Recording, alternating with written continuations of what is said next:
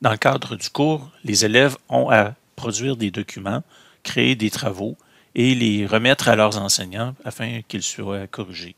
Donc, dans Moodle, ça s'appelle la remise d'un devoir, devoir étant le nom de l'activité. Donc, nous allons examiner un devoir ici qui se nomme Laboratoire sur la loi d'onde. Donc, on le comprend ici, un travail en sciences et technologies qui consiste à faire une expérience et à remettre le rapport de laboratoire. Donc, ce qu'on aperçoit ici à l'écran, c'est la consigne à l'élève, ou ici, dans le cas présent, la procédure à suivre, et la remise euh, des participants.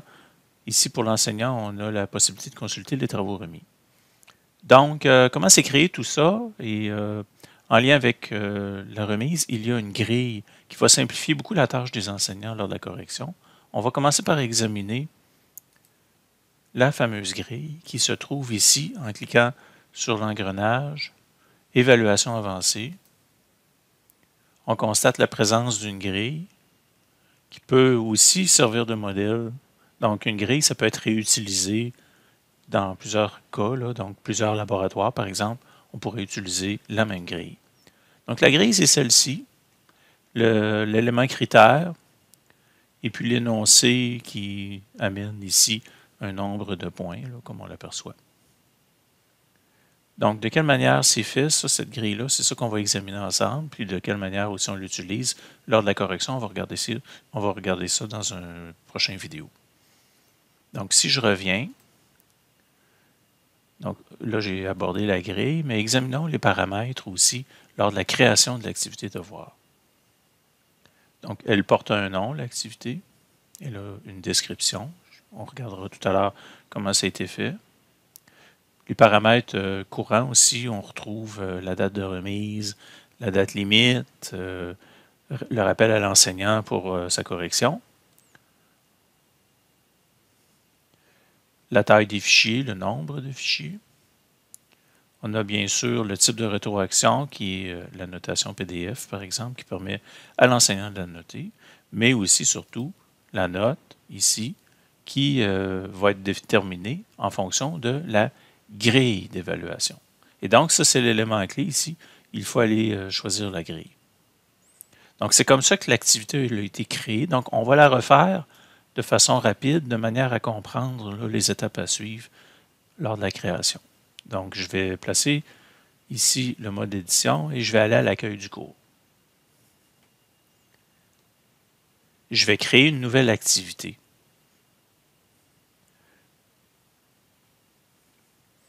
Donc ici, je vais créer un nouveau devoir.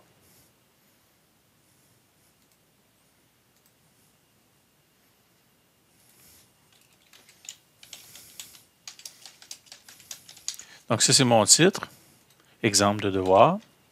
Ma description, je vais tout simplement inscrire description ici.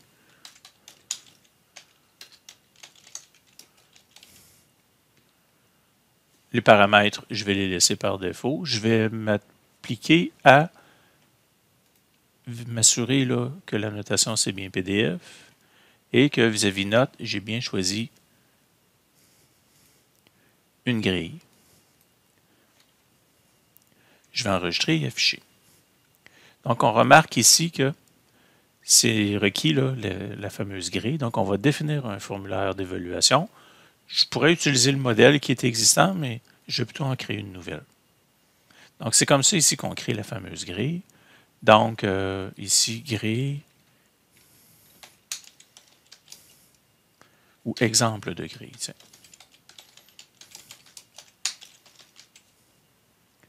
Donc, on va ajouter un élément critère, par exemple, la présence d'une hypothèse. Donc, euh, s'il n'y a pas d'hypothèse, aucun point. Si c'est un peu, disons, partiel, on va lui donner deux points.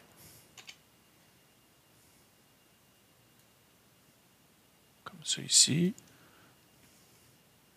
Puis, pour quatre points, on définira les caractéristiques d'une bonne hypothèse. Donc, au moment de la correction, ce qui est intéressant, c'est que l'enseignant n'a qu'à cliquer sur l'élément critère pour que les points soient attribués. Ajouter un niveau, non, ce ne sera pas nécessaire. Donc, on va conserver à quatre critères. Terminons comme ça ici pour la rendre prête à l'usage. Et donc, nous avons ici un travail qui pourra être remis. Lorsqu'on cliquera sur Note pour aller corriger le travail lorsqu'il sera remis, c'est sur cette grille qui apparaîtra que nous allons appliquer les éléments, les critères, pour attribuer le résultat à l'élève. Donc, ce n'est pas plus compliqué que ça, créer un devoir. Toutefois, lorsque les choses sont plus esthétiques, disons ça comme ça, euh, ça nécessite une plus grande préparation. Donc, euh, si on examine la différence entre mon exemple qui se veut très simple et le laboratoire ici, bien, les, euh, les particularités sont au niveau de la présentation de la tâche à l'élève, la partie supérieure ici. Donc, je vais revenir sur euh, cette activité-là qui a déjà été créée et je vais examiner de façon plus attentive la consigne donc la description de l'activité. J'ai utilisé l'éditeur HTML. On remarque la présence de nombreux éléments lors de la création. Donc, qu'est-ce que j'ai pris soin de placer? Je vous dirais ici, ce sont les boutons, par exemple, qui mènent ici à mes documents. Donc, ça, c'est l'URL de partage du document. Celui-ci, un peu plus bas, c'est l'URL qui va amener l'élève sur son compte OneDrive, dans le cas des outils euh, Microsoft. Et c'est la même chose ici pour Google. Donc, euh, tous ces éléments-ci qu'on aperçoit, en fait, ce sont des items choisis ici, des conteneurs, des cartes. Donc, on les aperçoit dans l'arborescence. Le conteneur est ici deux colonnes parce que je désirais ici séparer évidemment euh, les deux moyens. La carte, à l'intérieur de la carte, j'ai placé mon titre bien en évidence, le paragraphe et tous les éléments qui se sont ici là, enchaînés. Au moment d'écrire le texte, j'ai enregistré, puis euh, j'ai trouvé ça plus pratique, venir ici à l'aide de la barre avec les, puces, etc. Donc, c'est plus facile de rédiger les textes après avoir préformaté la, la zone.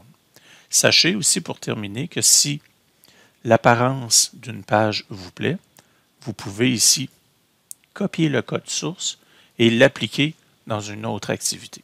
Donc, c'est ce qui fait que l'apparence est soignée et que les consignes pour l'élève sont claires.